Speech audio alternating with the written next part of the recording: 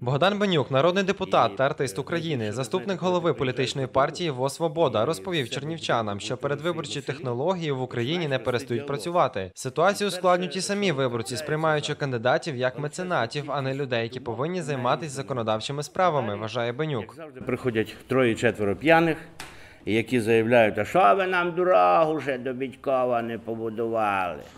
І е, все впирається в те, що депутат Верховної Ради має відкрити свою власну кишеню, не знати яку, дістати звідти гроші і зробити дорогу, або ще щось побудувати, або ще щось побудувати.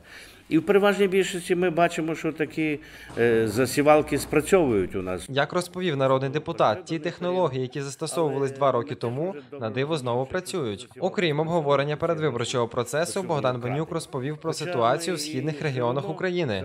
каже, там патріотизм значно вищий ніж на заході. Можу сказати, що підтримка патріотичних сил на, е, на сході України вона надзвичайно є потужна. І фори дає Західній Україні точно.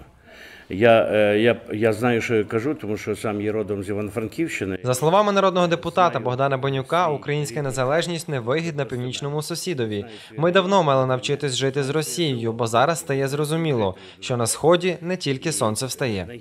Іван Бочулинський, Василь Ставчанський, Чернівці ТВ.